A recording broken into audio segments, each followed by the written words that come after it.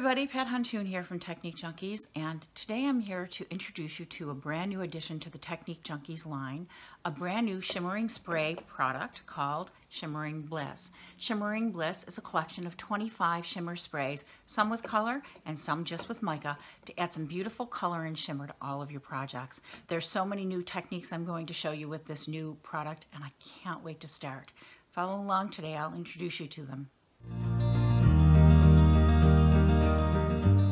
So let's take a look at the Shimmering Bliss and what you can do with them. First of all, I'd like to mention a couple of things about them. There are 20 colors of Shimmering Bliss and there are five colors of toppers. Here's a quick color chart so you can take a look at our colors and the toppers.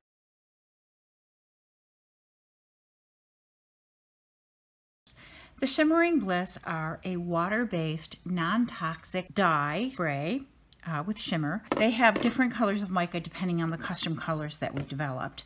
The other things that we have are the toppers. Now there's five different toppers. These don't have color in them. They're pure mica sprays. They're water-based with mica. So these are things that were meant to go on top of and over other things. What I'm going to do is show you a couple of things that we can do with these. Again, these are made in the USA and they are water-based with the shimmer. You always want to make sure that you're shaking them, okay? So you can see how the mica settles on the bottom of the bottles, which is fine. That happens with most products with micas. But when you use them, you shake them side to side. So I like to either do this side to side, circular, or you can be vigorous side to side. Never shake up and down. You never want to shake up and down like that because you never want to have anything with mica in it push the mica up into the spray nozzle at the top. So you want to shake it until you can't see the mica any longer on the bottom of the of the bottle. That's mixing in there. This one has a lot of mica in it. It's so beautiful. So the easiest way to use these is to take your hand and go low. So if I spray this spray from six inches above, which many spray bottles will tell you to do, what you get is a fine layer of mist that you can barely see. This is a piece of watercolor paper when I get down really close to my paper, I'm within an inch, and I'm going to do nice long strokes of sprays. And these are these bottles are very easy to do. They don't come out in a circle naturally. And you see how much more beautiful, intense color I have there? And I'm going to use autumn leaf at the top, and in the middle, I think I'm going to put some wine stain in there. You can either let these air dry, or you can or you can um, use a heat tool with it. Now I like the colors to blend in a little bit there. I can create drips. I can leave them as they are. And I don't know if you, if you can see on the camera all of that beautiful, luscious color that's on that one. So I'm just going to set this aside right now to air dry it so you can see it dried. Let's talk about paper a little bit. Right here I'm using a watercolor paper. You can use a regular paper if you're not saturating your paper.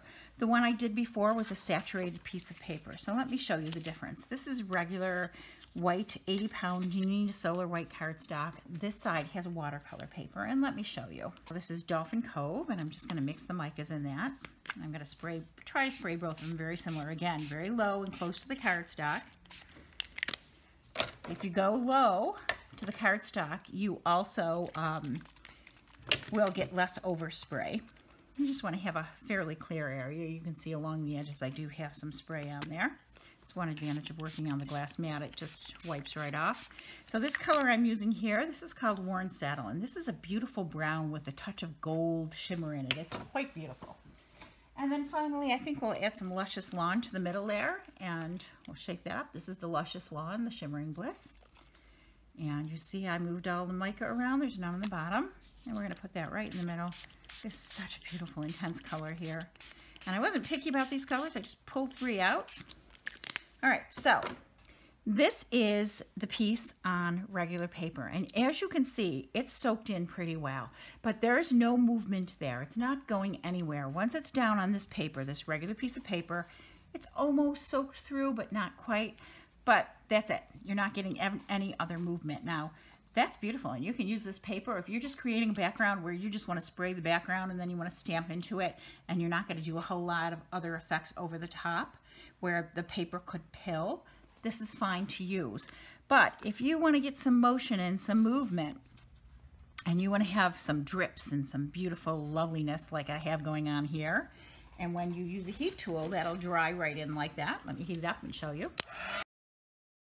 Heated enough to show you how you can capture all of those water marks in there and get the drip marks, where this is a much more static one. It's absolutely stunning with the camera. So that's the difference between the papers.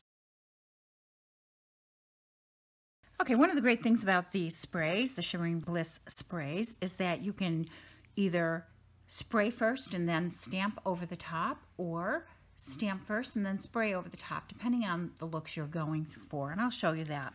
We're going to be using SD696 Never Stop Making Wishes from the Technique Junkie stamp line. So I'm using Mindaro, which is this beautiful yellow color that has a, a touch of gold in there. And Vivid Volt, which is this chartreusey green, and it has a blue iridescent mica in it. And I sprayed it on here, a couple of the different colors here, those two colors, and you can see the blue and you can see the gold mica. It's absolutely stunning. Let me show you how we stamp into it. Because this is a dye-based, once it's dry and you're stamping into it, you can use any type of ink that you want once it's already dry. This is a very dry piece of paper that I'm working on. I really like to use the VersaFine Clair inks. This is Nocturne. Um, I have a few of these in my store. They're kind of hard to come by right now, but this is a beautiful pigment ink. So I'll just ink that up and stamp that and show you on the stamp piece, and then we'll do it the other way around too. Look at that. Isn't that beautiful? Never stop making wishes. And it stamps perfectly on there without running or moving in any way. Let's do it the other way. So I'm going to stamp using the Nocturne. I have the image here, and what I'm going to do is hit this with a heat tool real quick just to make sure that that pigment ink sets. And using the same two colors, the Vivid Volt, which I'm going to shake a little bit, make sure it's shaken up perfectly, and move on all that mica off the bottom, that blue mica, and give that a spray on there. Now again, you see how low I'm going to the cardstock? That's how you get all of that vivid color. Don't be afraid to get low. You can't you can't mess it up. You don't want to sit like that because you get a circle. You just want to move your hand around a little bit. Very easy to use. Oh, look at how beautiful that is already. Just so shimmery. And I could hit that with a heat tool or let that air dry, but you can see that it, the dye ink with the VersaFine Clair is a beautiful mixture. You just see how beautiful that is.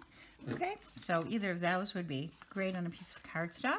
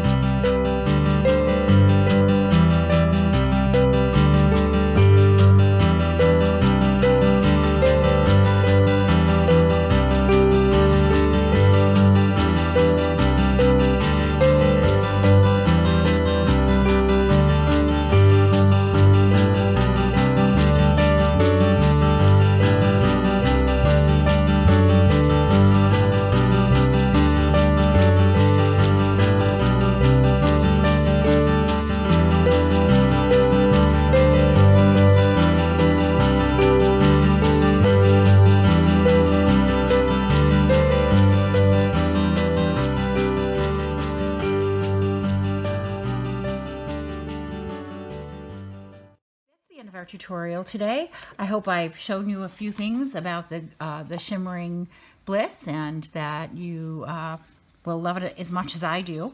I'll be doing more tutorials over the course of the next few weeks so you can see them in action over and over again with different techniques. Thanks for stopping by.